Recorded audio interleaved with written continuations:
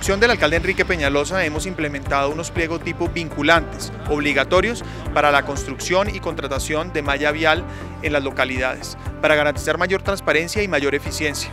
Hemos establecido unos requerimientos estándares habilitantes para garantizar pluralidad de oferentes, para que ya no haya más pliegos dirigidos o sastres, para garantizar que se acabe el proponente único en las localidades y garantizar mayor calidad en la inversión pública.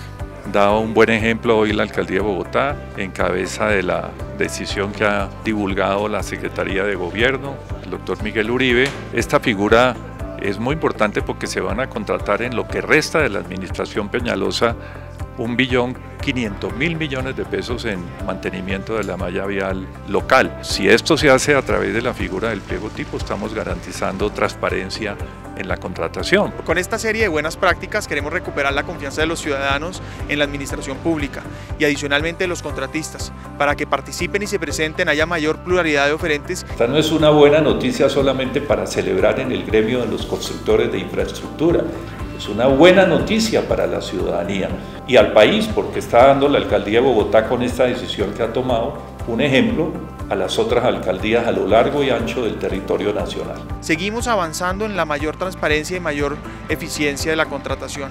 Muy pronto seguiremos anunciando buenas prácticas para garantizar que la contratación de otro tipo de inversiones en las localidades sea igual, tenga estas mismas ventajas.